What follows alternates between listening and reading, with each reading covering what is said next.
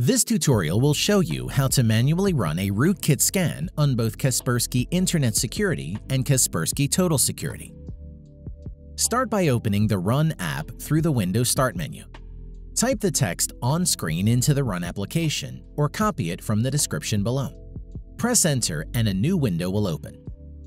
Find the folder that represents your version of Kaspersky and copy the name. Open Run again and paste the folder name after the last backslash. Add another backslash, then type avp.com. Move to outside the end quotation mark, then type space, then type start, space, scan, underscore qscan. Press Enter and a command prompt window will open and Kaspersky will start the rootkit scan.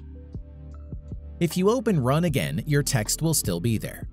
You can copy and paste this into a text document to save for future use. If you enjoyed the video or found it helpful, please be sure to drop a like and comment.